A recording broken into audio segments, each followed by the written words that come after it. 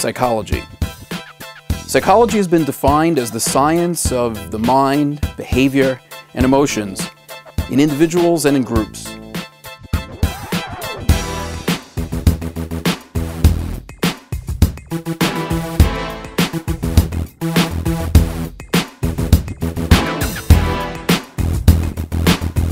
We all believe we understand why we think, act, and feel the way we do, and we believe that we know the same about others. But do we really? I'm Dr. Robert Meyers. Together, we'll explore the mysteries and intricacies of the human mind and behavior. And we'll take your questions right here on the Psychological States of America.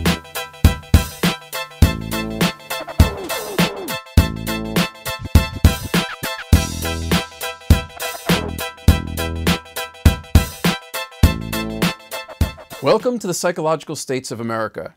I'm Dr. Robert Meyers. At any time, it's easy to spread germs. During this time, we need to be extra careful. One issue that was brought to my attention was eye care, especially for those who wear contact lenses.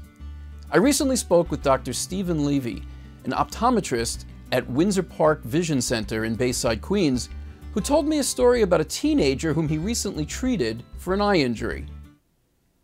Today I saw a 16 year old boy, young man, who got crazy glue in his in his eye while he was working on his bike. Um, he was pretty cleared up. He had seen his he had spoken to his primary care doctor, um, and the doctor had prescribed an antibiotic, which was perfectly uh, the right thing to do.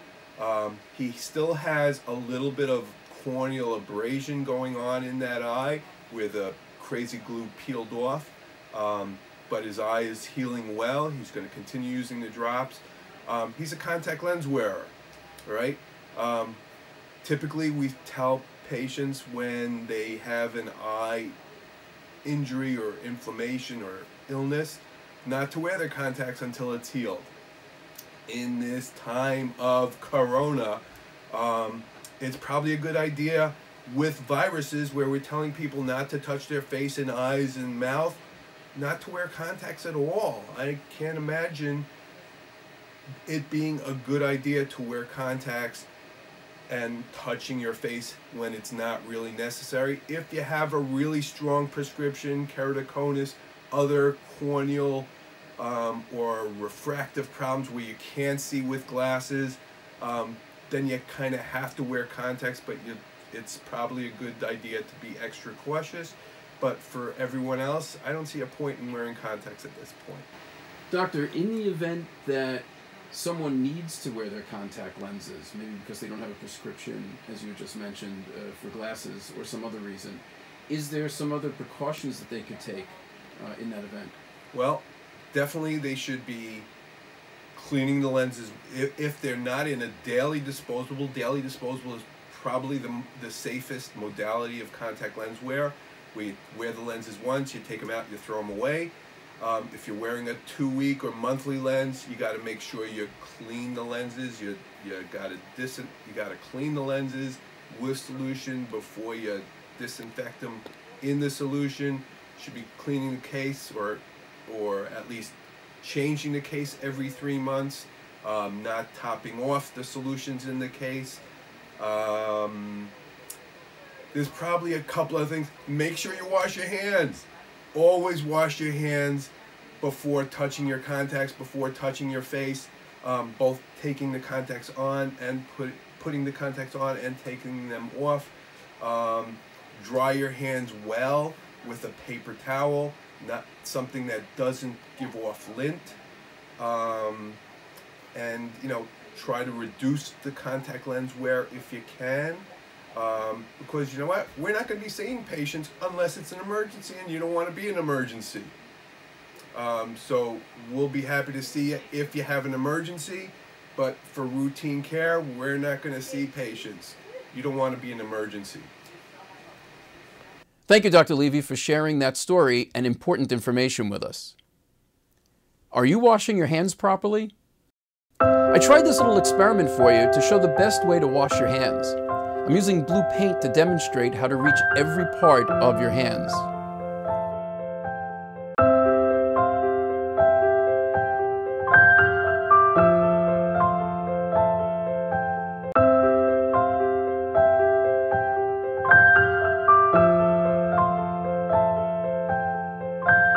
Course, you should use soap and warm water, not paint. Let's wish a happy birthday to Erica in Bayside. Her birthday, she didn't put the birth date, but it's sometime this week because she sent us her birthday. Happy birthday to everyone. Happy birthday. Are you having a birthday soon? Let us know, and we'll include you in our birthday wishes for the week. Attitude of gratitude.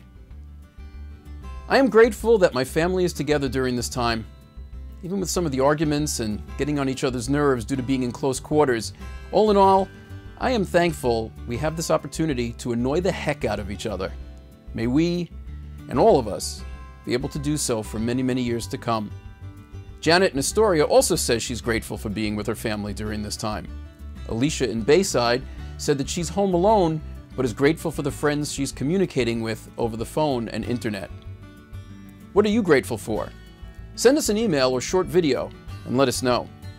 Don't forget to send in your emails or videos responding to one of our following questions. What are you grateful for today? What are you experiencing during this time? And your funniest creative video. No violence or vulgar language, please. We'll present some of them right here on PSA. Well, that just about wraps up today's edition of the Psychological States of America. Check back regularly for future episodes. Be well, be safe, we'll see you real soon.